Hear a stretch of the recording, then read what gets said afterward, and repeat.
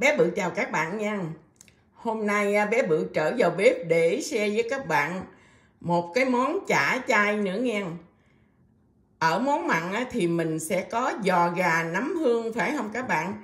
Thì bây giờ mình sẽ có là giò đậu hũ nấm hương. Các bạn thấy giò đậu hũ nấm hương của bé Bự có hấp dẫn không nè? Rất là ngon nha. Cách làm thì cũng rất là đơn giản rồi bây giờ bé bự mời các bạn vào bếp nha. Để làm giò gà nấm hương á, thì à, ở đây á, mình không có làm thịt gà mà mình làm bằng đậu hũ. Mình gọi là giò đậu hũ nấm hương nha. Thì à, cái này á, bé bự vì lý do kỹ thuật không biết sao mà nó mất cái khúc phim đó rồi thì bây giờ bé bự sẽ nói à, à, cái phần này cho các bạn nha cái này là hai hộp đậu hũ bé bự mua ở trong Costco á. Xong rồi về á, mình lấy ra mình gói ở trong cái ờ, plastic wrap á, mình bỏ vô freezer. Mình để cho nó đông đá khoảng chừng 5 6 tiếng gì đó. Rồi mình lấy ra để cho nó tan đá. Tan đá xong rồi á, bé bự dùng cái chi ờ, cái miếng vải chi clone này nè. Mình ờ, mình dắt nó cho nó thật là ráo nha các bạn. Ráo thì nó sẽ ra cái thành phẩm bên phía bên tô bên này ha. Bé bự ờ, mất cái uh, video cái phần đó rồi.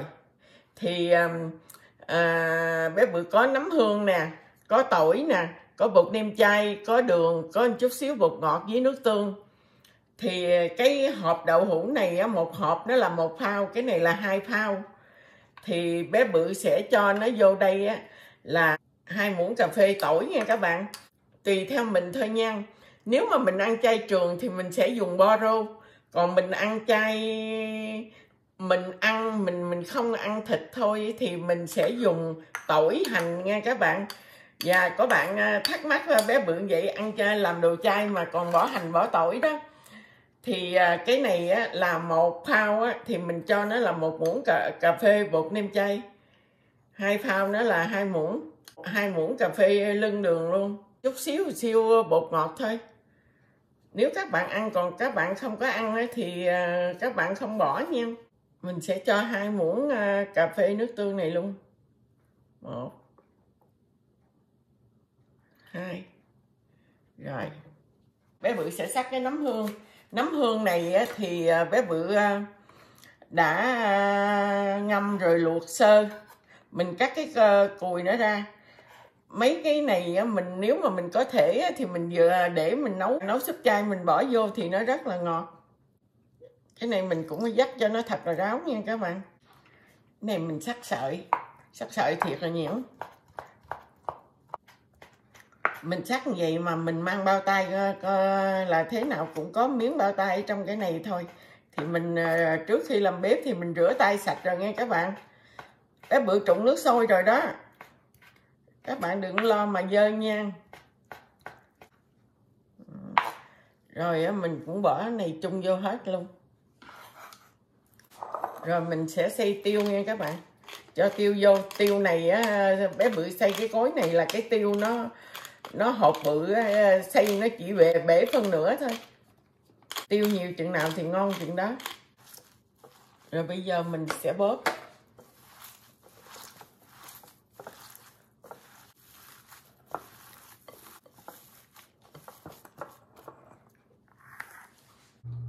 Kế đến là mình sẽ cho hai muỗng canh bột Vital with Litten nha các bạn để cho nó có cái à, độ kết dính đó. Đây. một muỗng hai muỗng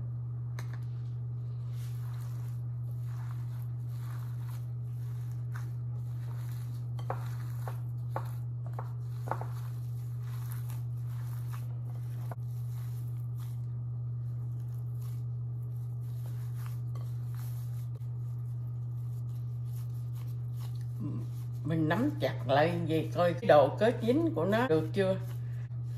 Nếu mà chưa đó, mình thấy chưa thì mình sẽ cho thêm một muỗng à, bột này nữa nha các bạn. Tất nhiên là hai hộp đậu hũ, nó hai thao thì mình à, dùng là ba muỗng nha các bạn.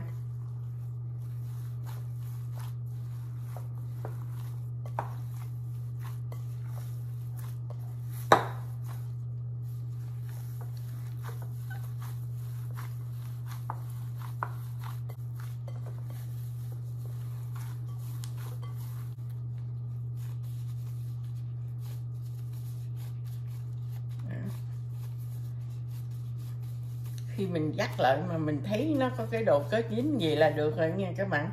Thì bây giờ mình cũng có thể thử nha. Bé bự thấy thì à, nó cũng vừa rồi đó, mà hơi thiếu tiêu. Mình thì cho thêm chút tiêu.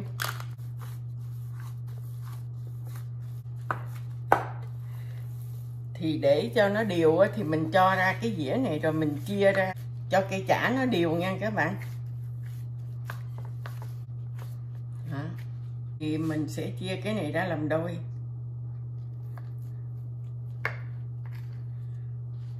Rồi cái này mình sẽ chia ra làm năm. Một hai ba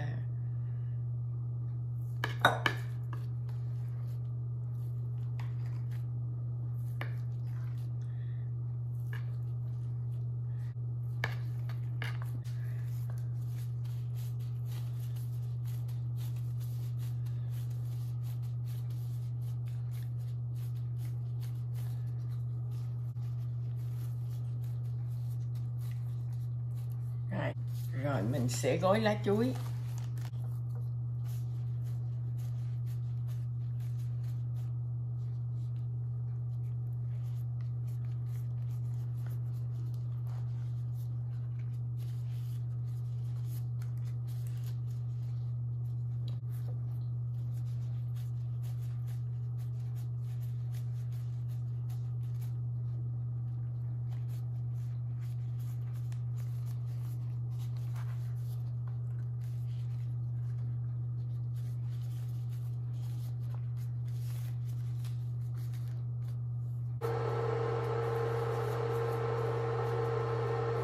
Xong rồi thì bây giờ mình sẽ cột nha.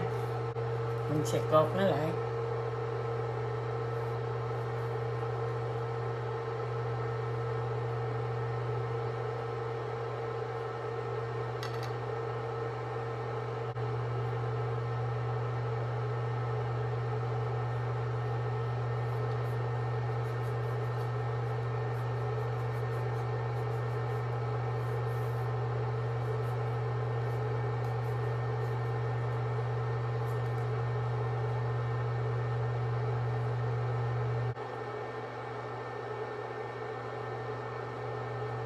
đây rồi. Mình đã gói xong được 10 cái đòn. Giò đậu hũ nấm hương ha thì bây giờ mình sẽ bắt nước lên rồi mình sẽ hấp nha. Đó, nước sôi rồi thì mình sẽ cho, cho giò vô mình hấp. Và mình sẽ hấp là thời gian là 20 phút nha các bạn. Với lửa medium cái bếp của bé bự là một ngàn rưỡi thì bé bự sẽ cho còn lại là 900 20 minutes counting down. bây giờ là 20 phút đã trôi qua thì bây giờ mình tắt bếp nha các bạn. Và mình sẽ để cho nó thật là nguội nha. Khi mình hấp xong rồi thì mình sẽ để cho chả nó thật là nguội xong mình cất vô trong tủ lạnh. Chừng vài tiếng đồng hồ thì mình sẽ có thành phẩm như thế này đấy nha các bạn. Rất là ngon nha để à, bé bự mở ra cho các bạn coi nha. Coi coi cái thành phẩm của mình như thế nào ha. Bé bự quấn vậy đây. Đó. Đây.